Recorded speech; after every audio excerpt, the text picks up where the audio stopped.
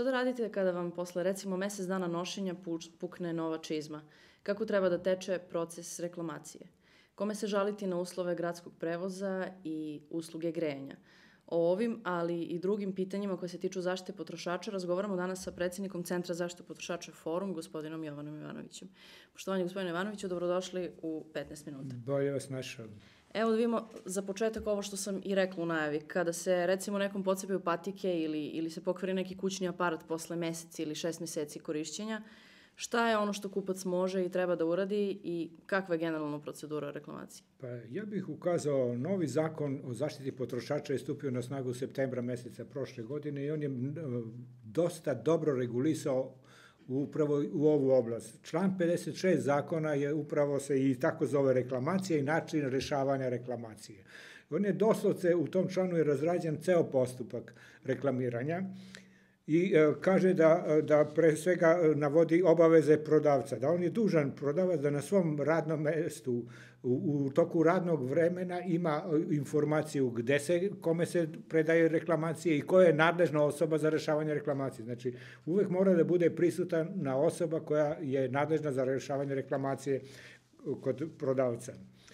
E, drugo, prodavac je obavezan da vodi evidenciju reklamacije. Znači, svaku reklamaciju koju dobije prodavac, on mora da ima knjigu evidencije koja se čuva e, dve godine i u njoj uvodi e, sve reklamaciju i ceo postupak rešavanja reklamacije. Tako da se iz te knjige može tačno da vidi koliko i na koji način trgovac rešava reklamacije. Zatim, prodavac je dužan, odnosno obavezan da potrošaču izda potvrdu da je primio reklamaciju. Znači, da li je to da na njegovom primjerku reklamacije stavi pečat i datum, da li da mu izda potvrdu i broj pod kojim je zaveden, uglavnom obavezan je da potrošaču potvrdu o prijemu reklamacije. Nakon prijema reklamacije, e, trgovac je obavezan najdu, odmah, a najduže u roku od 8 dana da da odgovor na reklamaciju koju je potrošač uložio. Znači, e, rokovi su skraćeni, ranije je bilo 15 dana, vidimo još uvek neki prodavci, neki trgovci nisu uskladili to, još uvek pišu u svojim dokumentima da je to 15 dana, ranije bilo, sada je to 8 dana. Zašto je predviđena kazna? Prekršaj se uradi ukoliko postoji znači prekršaj ukoliko trgovac ne odgovori u roku od 8 dana od prijema reklamacije. Već je napravio prekršaj. Izvinite što vas prekidam, šta, šta podrazumeva odgovor na reklamaciju? Dakle, ja, na primjer, kao potrošač... Odgovor na reklamaciju podra, ne, ne podrazumeva i rešen, rešavanje reklamacije. Odgovor na reklamaciju podrazumeva informacije potrošaču da je primljena e, reklamacija, da je usvojena ili da nije usvojena, ako je usvojena da se kaže na koji način će se rešiti ta reklamacija i, i u tom formu to je taj odgovor. A u, rok za rešavanje, za otklanjanje e, reklamacije, reklamiranog e, problema jeste 15 dana, za tehničku robu i do 30 dana. Znači, e, ta odgovor je jedan, jedan inicijacija da, potro, da trgovac razmišlja, da je primio, da razmišlja kako da reši i tako dalje i to je već ovaj, mislimo, jedan napredak u odnosu na ranije, na ranije stvari. A da li prodavac može da, da popravlja robu bez saglasnosti kupca? U, ukoliko se uh, po, uh, neispravnost pojavi u prvi šest meseci, znači uh, prodavac ne može pristupiti opravku bez izričite saglasnosti uh, potrošača, jer se smatra da je proizvod imao skrivenu neispravnost u trenutku kupovine. Prema tome, Da to treba posebno obratiti pažnju, mnogi trgovci to ne poštuju i u svojim reklamnim listovima su unapred otkucali prihvatam opravku i, i taj obrazac oni daju potrošaču, potrošač popuni ono što on reklamira, potpiše i na taj način je automatski prihvatio potpisao je da prihvata opravku. Mi zbog toga uglavnom potrošače e, savetujemo da pišu sami reklam, reklamaciju u slobodnom stilu, da napišu šta je neispravno, koji su njihovi zahtevi, možda neko traži da se popravi, ako je nešto sitno, da, a već je on možda, recimo, telefon pobacio neke podatke, pa on prihvat, može da prihvati opravku. Ali ako se radi o nekom većem zahvatu, svakako da ne. Prema tome, da on definiše e, neispravnost i da definiše koji je njegov zahtev. Znači, da li traži za opravku ili zamenu. A da li može traži povraćaj novca? I naravno, ukoliko povraćaj novca se može tražiti ovako, ukoliko se dva puta pojavlja, recimo jednom je reklamirano i popravljeno. Ako se po, još jednom po drugi put pojavlja po, pojavljena ispravnost, onda potrošač ima pravo da raskine ugovor. Znači, da. A, međutim, to ide e, malo, malo teže e, kod trgovaca, tu imamo dosta problema oko, oko raskida ugovora, povraćaja novca, teže ide, lakše, čak lakše ide i zamena, da se dobije uh, novi, drugi proizvod, ili čak ako nemaju isti model, mogu da daju neki možda i bolji model, ali to je na njihovu štetu da, samo da, da, da ne bi vratili novac. Međutim, na potrošaču je da samo Da, a kome mogu da se žale ukoliko prodavac ne želi da im reklamira robu ili ne želi da im vrati novac? E pa, postupak je ovakav. Znači, potrošačko pravo je lično pravo i potrošač a, mora sam da nastupa, on praktično ima ugovor sa trgovcem. Dolaskom u prodavnici, kupovinu kod trgovca, potrošač je sklopio praktično ugovor sa tim trgovcem. I on sve, kompletan svoj e, reklamacioni postupak rešava sa trgovcem. Nema on ništa sa servisima, e, što mnogi prebacuju ovaj, potrošače, javi se u servis. Ne, on, nema sa, on ima ugovor sa trgovcem. On reklamira uh, ovome trgovcu, a trgovac će da pozove servis, da zatraži mišljenje i, i, i da na osnovu toga postupi. Napravo, kad, se, kad je reč o robi, posebno kod tehničkoj robi, uvek trgovac uh, zatraži mišljenje uh, servisa da li je potrošač u pravu. On je prijavio da je neispravnost. Trgovac nije stručan da ustanovi to. On ima ovlašćeni servis koji daje mišljenje da li je to ta ispravnost takva ili ne. Ali, naravno, ne može da pristupi opravci bez pristanka potrošača. Međutim, to se zloupotrebljava vrlo često čak i kad potrošači izjave da traže zamenu,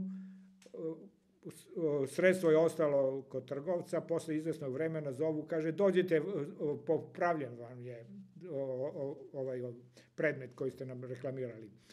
Ili čak idu, da, idu korak dalje pa kažu ne, nismo ustanovili, nema neispravnosti, iako su umeđu vremenu otklonili neispravnost, e kaže ne, da što reklamirate nema neispravnost, evo ispravno je uređaj.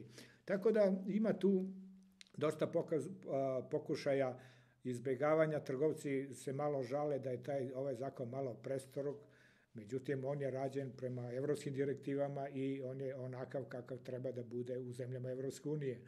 E, što kvalitet proizvoda kod nas e, nije takav kao u zemljama Evropske unije, to je drugi, drugi problem. Nama su otvoreno mnogi predstavnici iz Evropske unije koji su dolazili rekli da obratimo pažnju e, propisi u Evropskoj uniji su vrlo strogi i sve ono što ne može da prođe na tržište Evropske unije, ono ne završava kod nas. Prema tome e, moramo da obratimo i da na kraju krajeva mi uvek savjetujemo trgovcima, posebno ovim dilerima koji su u krajnji, oni e, uzimaju proizvode od nekog uvoznika.